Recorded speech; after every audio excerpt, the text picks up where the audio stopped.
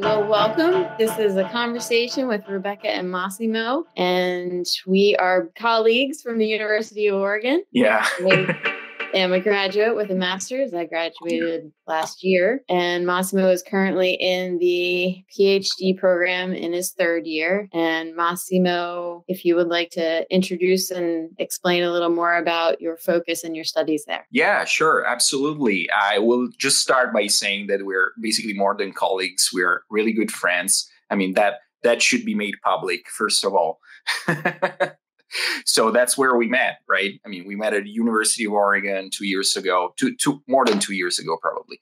So I'm a third year PhD student at the University of Oregon, and um, so University of Oregon is in Eugene, Oregon, for those who don't know, and um, yeah, uh, so my my focus is basically in um, continental and American philosophy, more American philosophy and continental. That's what basically brought me here, you know, the chance to work on uh, stuff that I love, especially, as I just said, American philosophy. And I work, you know, primarily in the intersection, so, so sort of more, you know, dialogical uh, situation between the two traditions. So American philosophy and, uh, yeah, and continental philosophy. And uh, yeah, so that's what. Today is a very you know very rainy day here kind of annoying but that's eugene. That's what they always say. So if you come to eugene expect it to be very you know extremely rainy so. Well i am here in pittsburgh and today we have some light snow on and off. Oh cool. um, typical weather in pittsburgh is a crapshoot. It's either predicted to be cold and it's warm or predicted to be warm and it's cold. So you never know what you're going to get in the city of Pittsburgh. Um, but that's that's for, the quintessential yeah that's the quintessential philosophical problem with weather forecast right they, okay. they, they want they want to be clear they want to predict the future but they can't yeah yeah sometimes they get it right Sometimes, very rarely, very rarely. But yes, as you said, Massimo, we met at the University of Oregon over two years ago, and uh, my background is in continental philosophy, and my interest lies in continental. Um, though it's it's honed a little bit, you know, I, I do um, have uh, have more of an interest in concentrating on existentialism and French existentialism in particular. So that's my bent. Um, and I feel like those two, your focus with American and Continental is very unique because not many Americans are aware of or understand or have been exposed to American philosophy. Yeah, absolutely. Yeah, and uh, but it's also true the you know the the same thing the other way around. I would say because it's like there is this resistance among Europeans to uh, accept the interconnection between the two traditions and you mentioned existentialism, and it's like to me, both existentialism and phenomenology, the two great, you know, European traditions of in the 20th century, are have a lot in common with American philosophy. The way I uh, understand it, the way I approach it. So it's like basically my work is in. You know, not trying to isolate the two traditions, but try to bring them together. And it's like, uh, and I, I see a lot of value there. And I'm also I also see that the the kind of trend, the general trend in, on both sides is changing, and uh, you know now European um, European scholars are becoming more and more aware of this interaction, which has you know historical um, it, eh, eh, it has an historical uh, ground as well. So it's not only you know something that you know you find you find two topics that go well together, you put them together, even if you know uh, nobody knew about each other, right? It's mm-hmm. like I, I, don't like that kind of operation. But uh, in the case of American philosophy and, uh, conti- and the so-called continental philosophy, I think that the, as I said, there is a lot in common, and I, I personally love Gabriel Marcel. Uh, I still, I, I think he's, I, w- I would say he's one of my favorite philosophers to a mm-hmm. to a great extent from the you know the more existentialist tradition.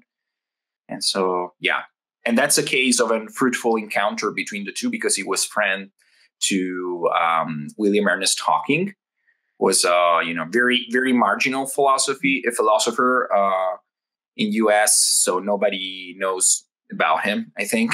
yeah. But it's like he's famous. He's famous because he was interacting with Gabriel Marcel a lot, and uh, so I think that's that's one of the many proofs of you know a fruitful encounter between the two traditions that's slowly coming into light. Yeah. Uh, you were speaking. You had mentioned the connections between the two philo- the two philosophies, and you just mentioned one philosopher in particular that kind of that straddled that bridge. Hmm. Can you speak to any other connections or similarities or areas of convergence between the two? Yeah, there are many areas of convergence, I would say. Uh, right now, I'm also working, no, I'm basically working on two uh, different tracks now uh, that sort of involve the same kind of situation. So now, now I'm preparing my history paper on uh, philosophy of race and uh, neo-Kantianism, which is something I've been thinking about for quite a while. Uh, you know, nobody nobody ever speaks about the neo-Kantians, only you know a few people around the world. And here I'm talking both about U.S. and Europe. So it's like uh, there are many, you know, scholars specialized in neo-Kantianism, but for some uh, interesting historical reasons, um, early early American philosophers were interacting a lot with with German philosophers, and that's really part of the uh, history of American philosophy. In particular, if you think that, for example, William James studied with Wilhelm Wundt in Germany, or Royce studied with Windelband, and so there's always been this kind of interaction between the two worlds um, between the end of the uh, 19th century and the beginning of 20th century.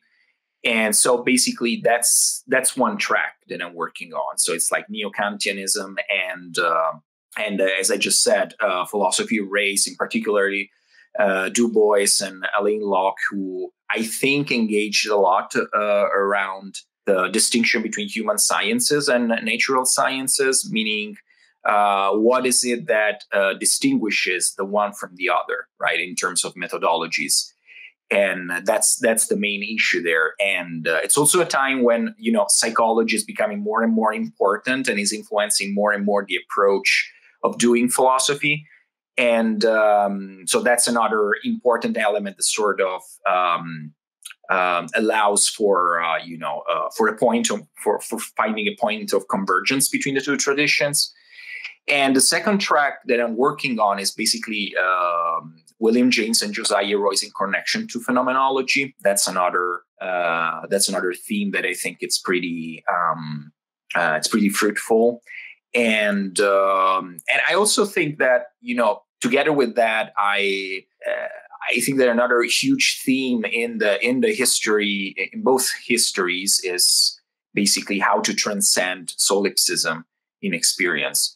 Because American philosophy is very, you know, um, at least, and this is a kind of cliche, I would say, one of the many cliches about American philosophy that it's about individualism, right? It's about being isolated. It's not about being with society, right? And I think it's not true and uh, there have been many attempts in the history of American philosophy to transcend the limits of the you know Cartesian uh, ego cogito, right, of the isolated solipsistic experience. And that says a lot of the connection you can find between American philosophy and continental. Well, I'm interested in that that transcendence of the isolated existence. Yeah. Because I feel like also because yeah sorry if i interrupted. you also because we talked a lot about it so, well, but let's make it, other people other people aware of our yeah. interests well the transcendence of the isolated experience is is a never ending process because we're always already alone. We're always already our individual selves right? And I think that the continental tradition uh, kind of lionizes that experience, you know, and makes makes makes every every moment, every decision transcendent in itself in a way, so that you're constantly in this you're in a state of perpetual transcendence within yourself, and it is isolating. While I think not an acknowledgement, but an interpretation of continental as being uh, one that is is transcendent in a way that's interconnected. Sure, sure. That makes sense. Understand. Yeah, yeah, absolutely. I I think that um, at some point in the history of you know Western philosophy, broadly speaking, uh, there is an awareness of the limits of the Cartesian experience, and this is something that, for example, William Ernest Hocking uh, treated uh, a lot, especially in his first works. But I think that um, that problem is already presupposed in uh, William James and uh, Josiah Royce, maybe because there were fruitful interactions between the two traditions happening uh, on both sides, but also because um, at least the, the, the major example in uh, um, in the history of American philosophy is Ralph Waldo Emerson as an expression of the isolated experience uh, with nature, right? Um, and my my master thesis was on Ralph Waldo Emerson, still one of my heroes. So, but certainly the early Emerson is pretty much representative of this kind of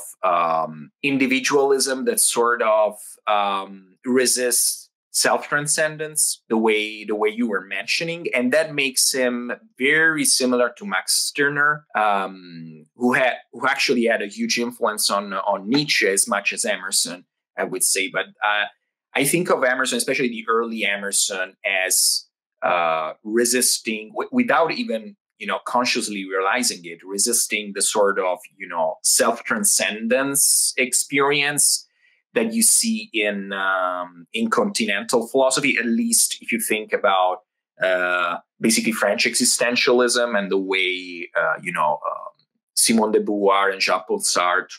Uh, I always put Simone de Beauvoir first, uh, and then Jean-Paul Sartre because I'm, much more of a, um, a Simone de Beauvoir lover, to be to, to be honest. Yeah. Uh, yeah, yeah, and and this this, you know, is kind of connected to her feminism too, but I still think that her way of reusing Hegelian themes is much more effective and much more important in terms of, you know, the existential weight of her thinking. And uh, so she's very pretty much representative of this, you know, self transcendence idea and Sartre sort of criticizes, you know, the idea of existentialism as being grounded in this idea of the individual, right? and uh, as known uh, as being proper to itself right? So kind of resisting any any connection with society. But to to to a great extent the same kind of uh, you know themes are uh, present in american philosophy in in a different manner for sure but it's like uh, it's pretty you, you see that for example in the tension between william james and josiah royce and Josiah Royce is much more of a you know sort of community philosopher, while uh, William James is much more of the um, philosopher that puts you know more emphasis on the individual. But then what happens is that he's at the same time critical of solipsism, and we see mm-hmm. that many um, many you know many of his works. For example we, we see that in his notes in his early notes on solipsism and uh, where, where he's elaborating his first form of uh, radical empiricism. We see that in the essays in radical empiricism where he talks about the cotermin- coterminousness of two minds into one object. So it's mm-hmm. like two minds perceive the same kind of object right? And that's already an attempt of overcoming solipsism in itself. And uh, so it's like uh, but i would say that you know at some point even ralph waldo emerson realizes the uh, limits of that uh, you know strict individualistic position and uh, in, in a work like uh, society and solitude is trying to you know integrate the two dimensions together right? You have mm-hmm. solitude as much as society. The problem is how you um, can have a sort of authentic experience of both which is which i think is another problem right? Well you have solitude as much as society. So let's let's put that in a framework of our 21st century pandemic that we've yeah. been living in. How do we have how do we have solitude in society or how do we have society in the solitude in which we found ourselves wittingly or unwittingly? Um, how do we make sense of the fact that we are still part of in one of our earlier discussions we talked about you know the commodification of labor and how that what that looks like presently. How do we how do we come together as a workforce? Is there a workforce? Are we not just individuals working in some particular field or aspect? Like how does that how does that look? How does that work or cohere with?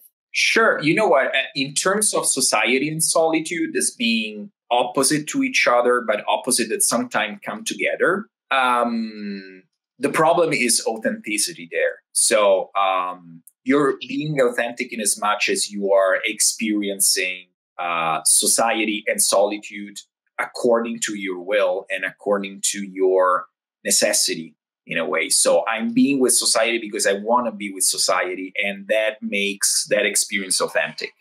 What happened with the pandemic, I think that it's like this sort of opposites are become forced, became forced in a way, right?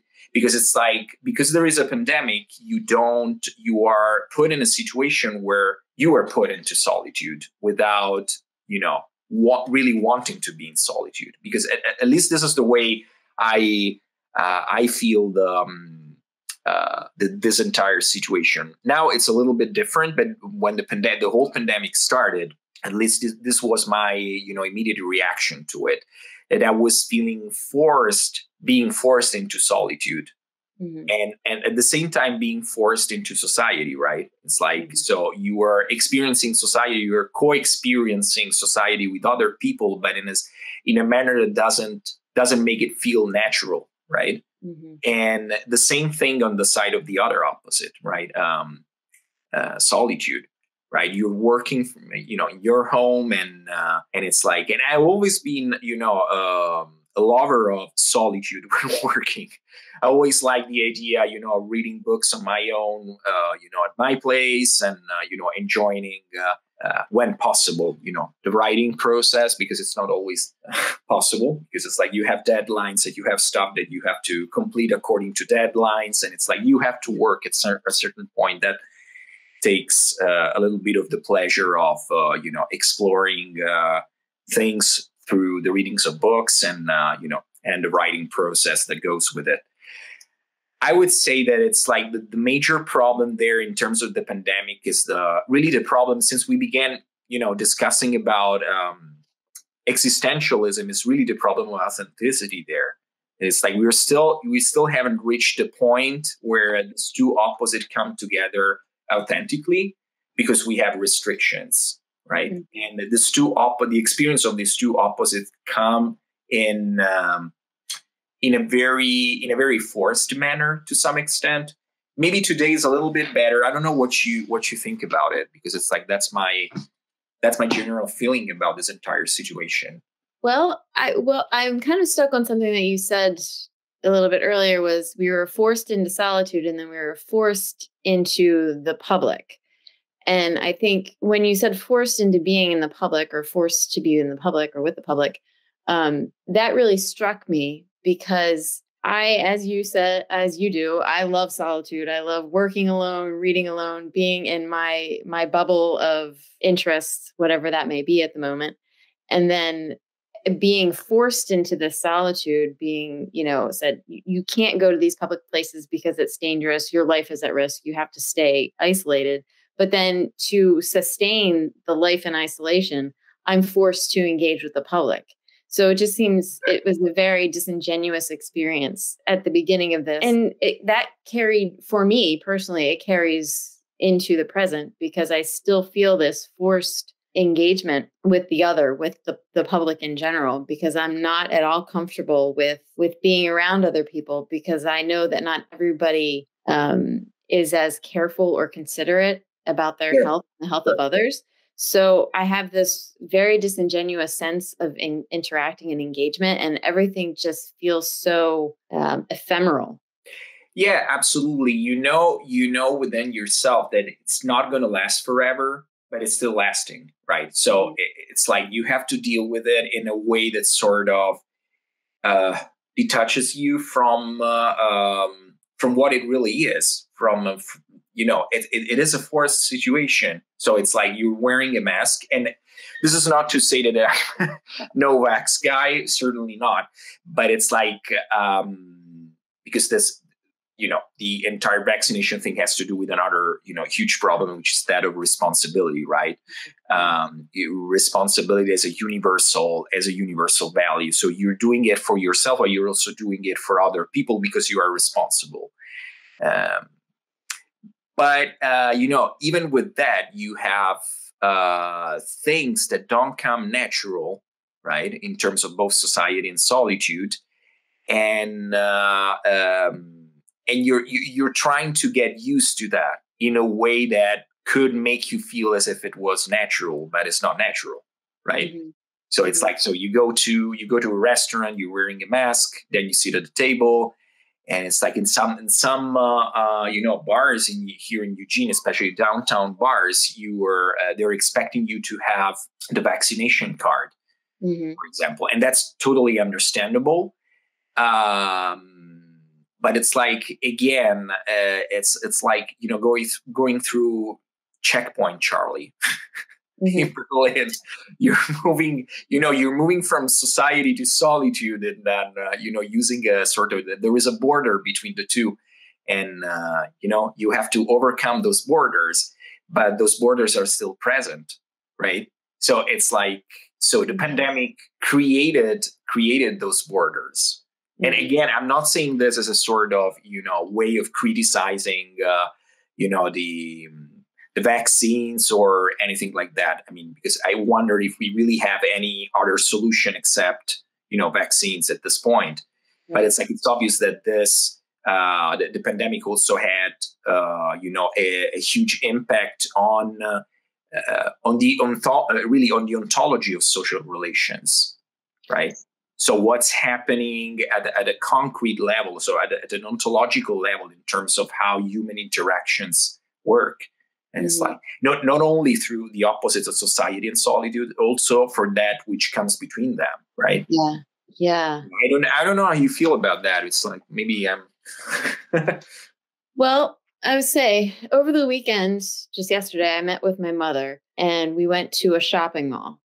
Mm-hmm. And I can't remember the last time I was at a shopping mall, even before the pandemic. So this was an entire, I felt as if it was my first time ever in a shopping mall, in a crowd, in a place where others were just free to move about as they saw fit.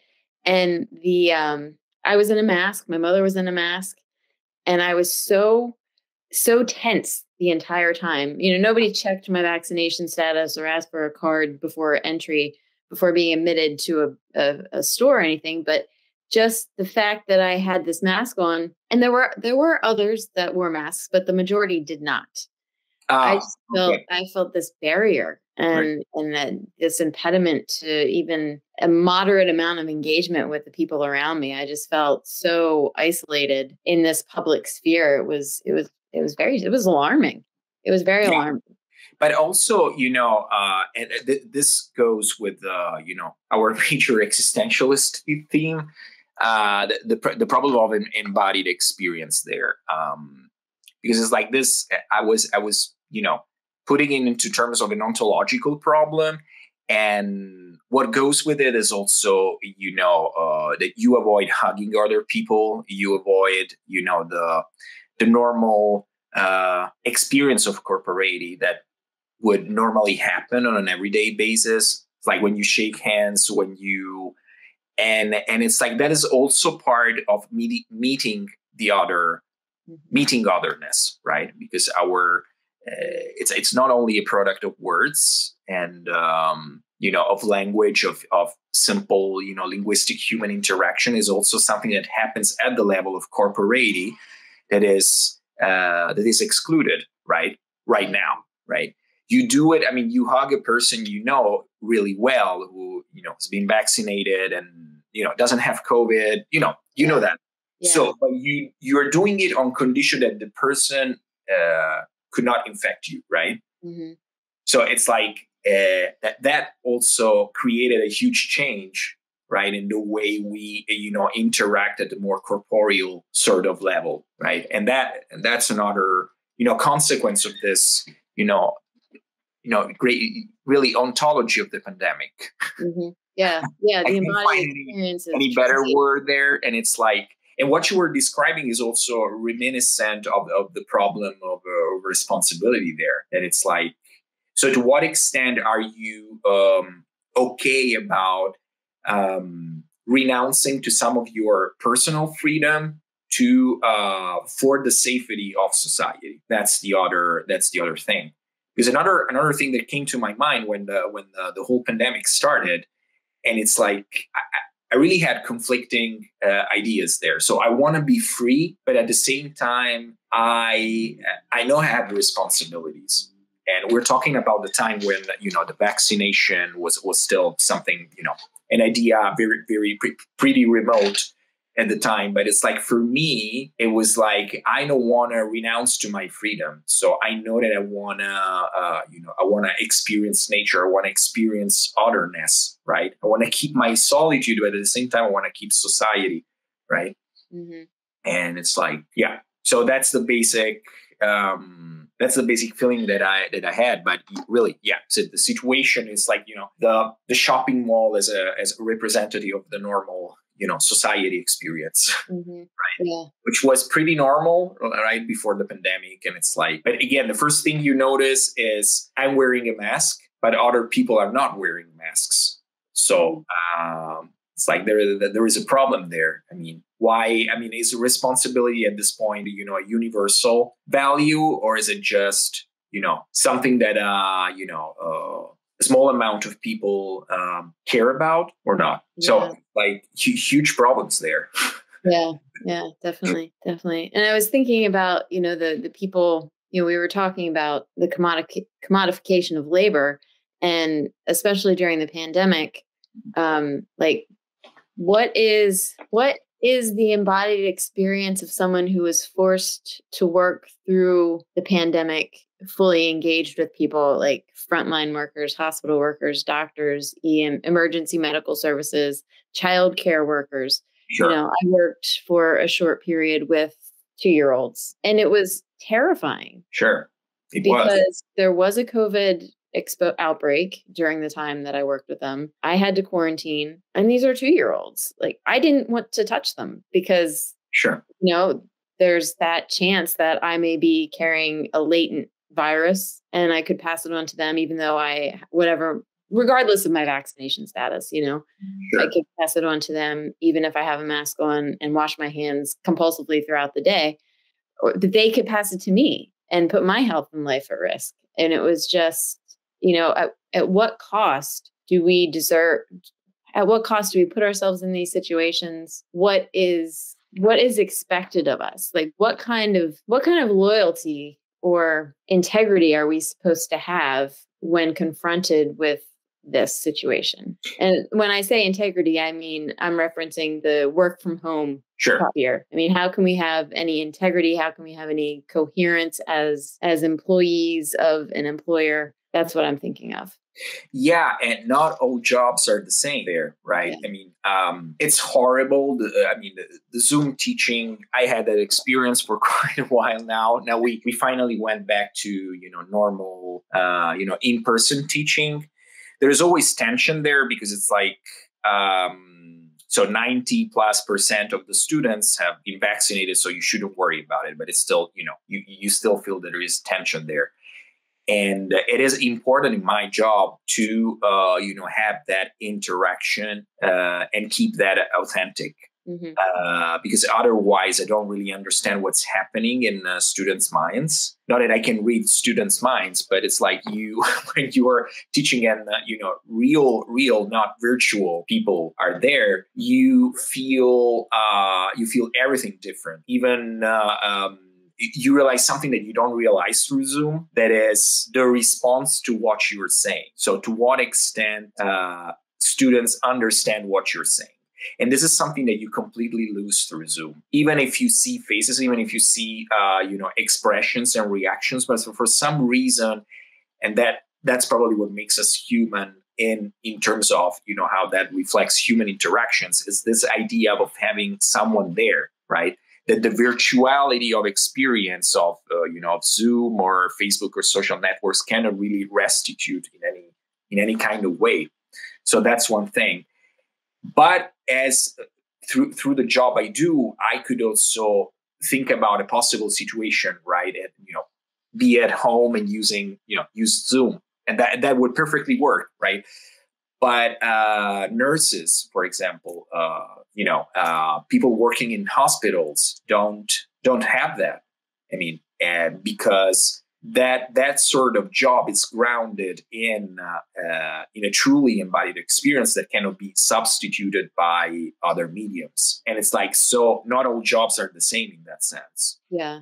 Right? Yeah. You cannot you cannot really find a substitution there through uh, um, through zoom unless you are um, you know a doctor some kind of a general doctor and you have your patients through zoom.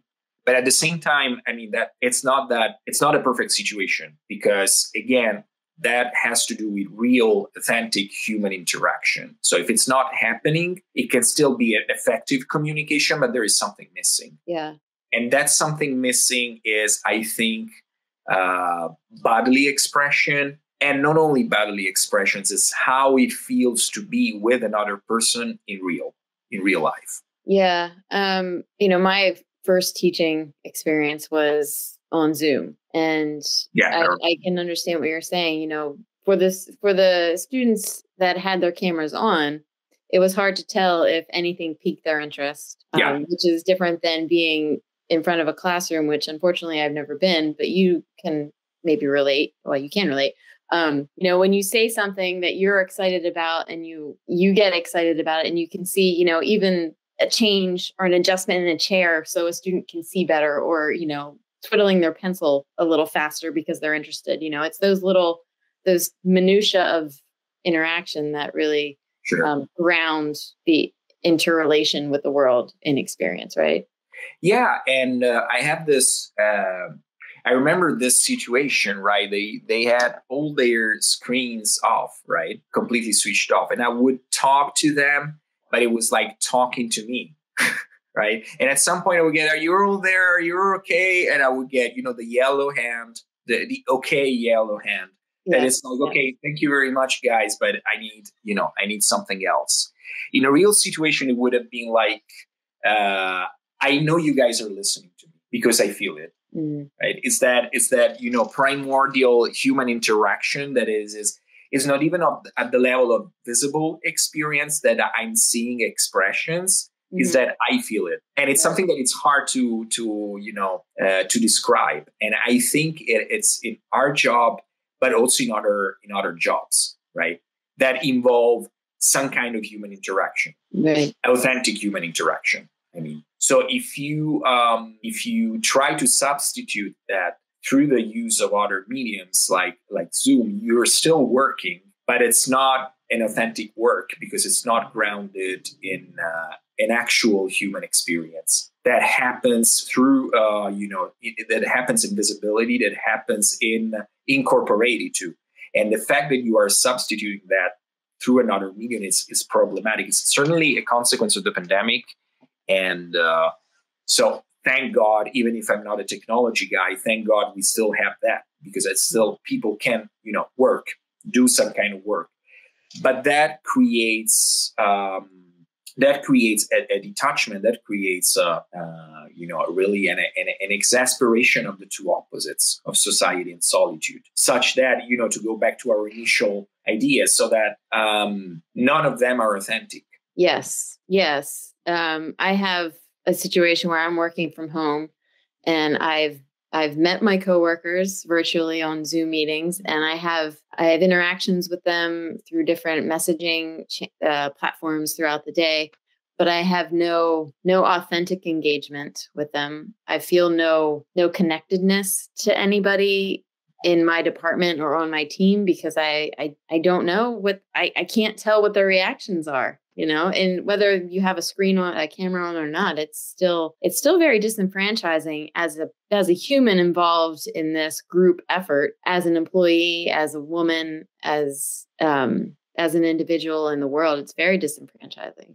However i will say that as as a woman in this dynamic i feel more empowered than i ever have That's interesting. yeah i feel i feel definitely more empowered and of course i'm going to call upon my one of my favorite philosophers helene Cixous, and you know her laugh of medusa woman must write herself and i i think about that every day and i think about the challenge that that posits and i think about that when i'm engaging with my coworkers on these interactions where you know, I have to make myself heard, whether it's, you know, what time a report has to be in by or who's going to do the next report or whatever the topic may be. I feel like I have an obligation to um, my personhood and my my femaleness. I see and that. I don't like that word, but my my you know my my my female nature to assert myself and to and to write myself into the into the the the dialogue. Yeah, and, and I let me pose no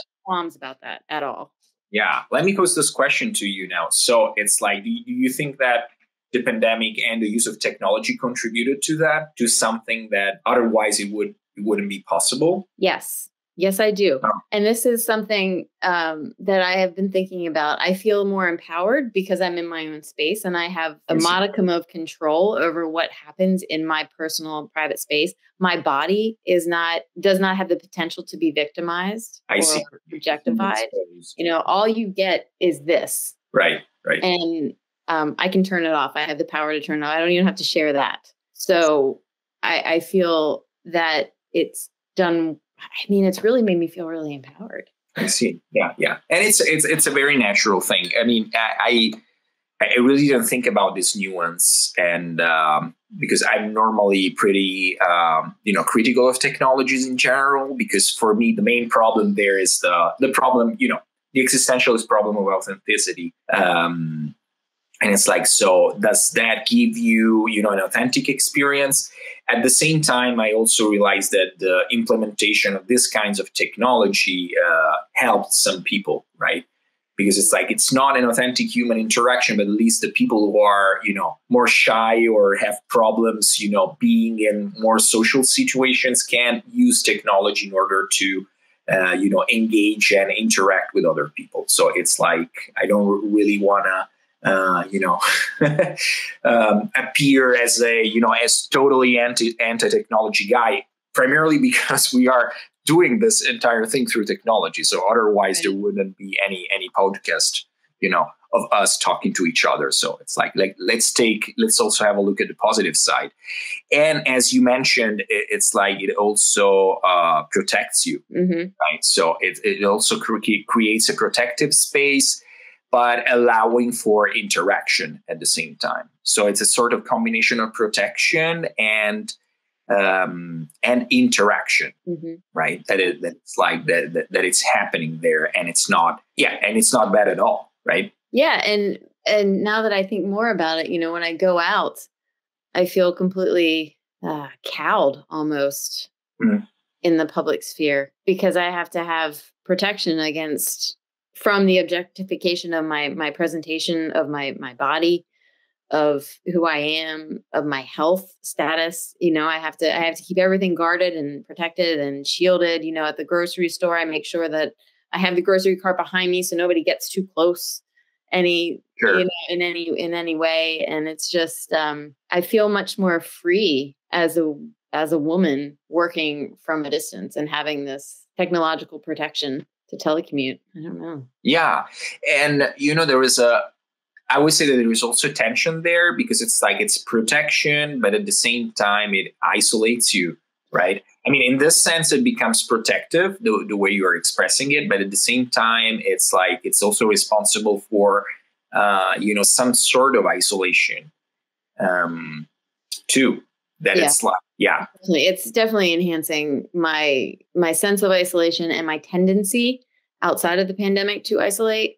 So there's there's a balancing act with that. And i and i'm i just wonder how long before this this setup makes me feel just even disenfranchised kind of maybe for myself you know like i i don't know i have a hard time i don't know i have a hard time delineating where i stop and where work begins what is personal interest what is work interest things like that. Maybe that's just because of my my nature my work ethic anyway but um yeah i'm just i'm just worried about like the power the the invisible power dynamic that this this disenfranchised working has over me as an individual.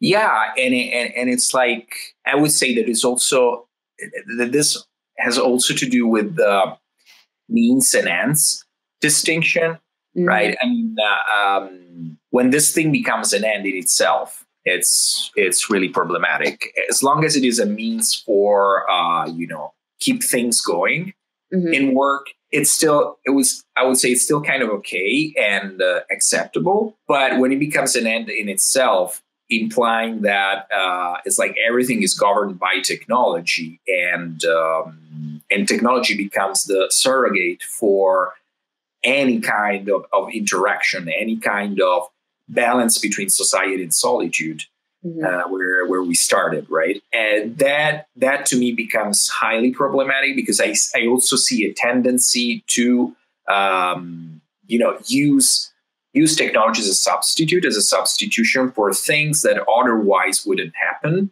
mm-hmm. right? Because of you know of personal difficulties in doing it. And I'm not the person who thinks that you know society, the society experience should be forced onto people because otherwise it wouldn't be authentic right but at the same time you gain so much more from uh, from human interaction but oh, you also get the bad part of it you know like being exposed to uh, you know um, to problems that happen in physicality that happen in embodied experience.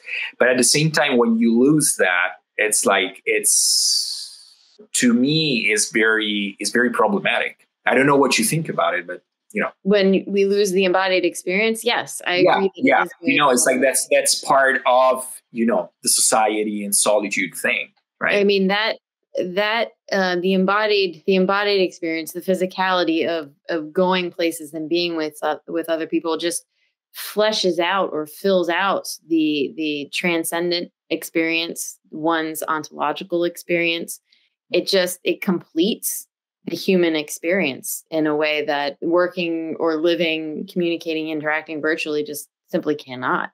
I mean, whatever whatever vulnerability or whatever vulnerability may happen as a result or you may encounter as a result of being physically the corporal engagement with the world um, i think is irreplaceable. I mean because that vulnerability also informs your experience and it's something from which you can learn and grow and develop and enhance your lived experience. So i, I think it's integral and i'm i'm just i'm very doubtful about um, how sustainable the work from home paradigm is in the long term which i think for many companies and businesses it will be because it's it's just more cost effective than to have a brick and mortar place. So I'm just concerned about the sustainability of being a human in the world while working from home for you know people in that situation.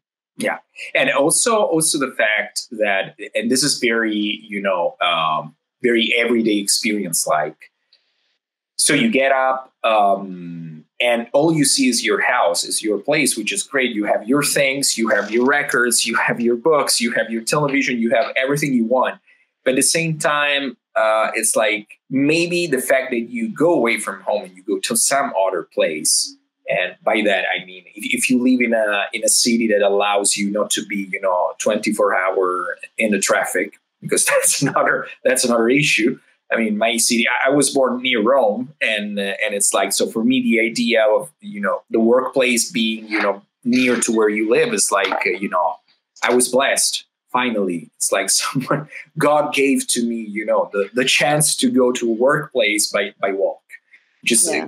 something that i've never experienced when i was a you know an ma student and uh, when i was in rome and uh, so i'm really glad that i'm in this situation where i can you know go to the workplace and it's like for me uh, the, the, reason why i say this is it's because I think it is also important to have a break between, uh, you know, your life in your place and the life in uh, you know in a workplace that's distinct from your place. And I think that's um, maybe that does not apply to anyone. It, it only applies to me to, to a great extent. But I think that it's important to also have a break between uh, the two the two things. So the space you um, you live as a you know as a space that it's you know uh, that, that that's a space where you don't work but you have you know you spend the rest of your day that that doesn't you know belong to the uh, to the work experience mm-hmm. right and the work experience that happens in a in a place that's different from that so i think that you know as a consequence of the pandemic we also lost that that sort of experience which I mean, from from the standpoint of the um, um, of the people, um, you know, of, of, of, basically of your of your. Um, for example, let me let me let me take it this way. Let me put it. let me make it easier. Um, so the the the, the, the employers, right?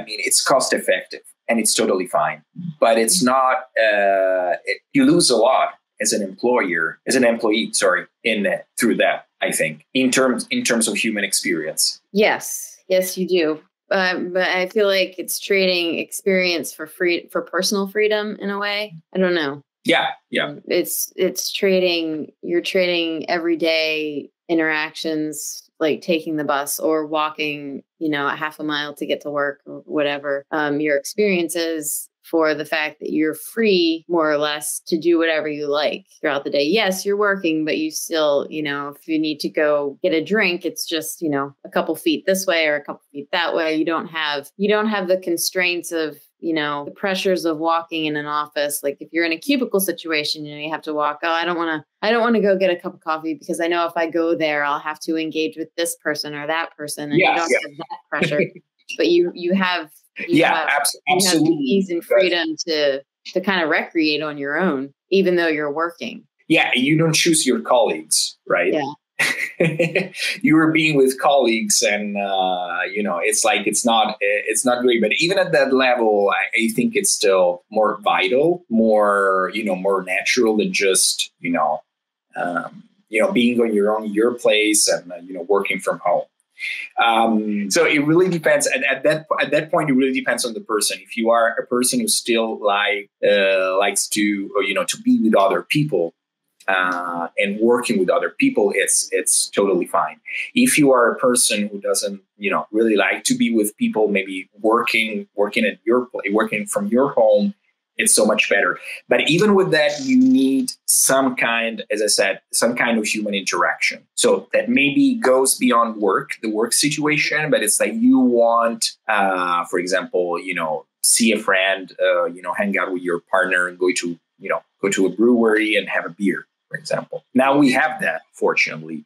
But when the pandemic started, it, we didn't have that, right? We were supposed to, you know, go to the grocery, uh, get a bottle of wine, uh, get a beer, and then uh, maybe you know meet with other people on Zoom, mm-hmm. and having you know an artificial, uh, you know, uh, yeah, and you know an artificial sort of pub situation. Right, right. and that wasn't great. And he's like, "What are you drinking? I'm drinking this bottle of wine. What are you drinking? I'm drinking this beer. Oh, that's very interesting."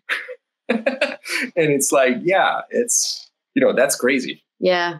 Um, let's I don't I don't know. I think, yeah. I think we covered about all of our bases. Yeah, yeah, I think so. And I hope that who will listen to to this podcast won't be annoyed by our by our, you know, overly philosophical, you know, approach to the pandemic problem. other ways there are to approach? Yeah, but, but we, we shared we shared experiences around it, so we did our job.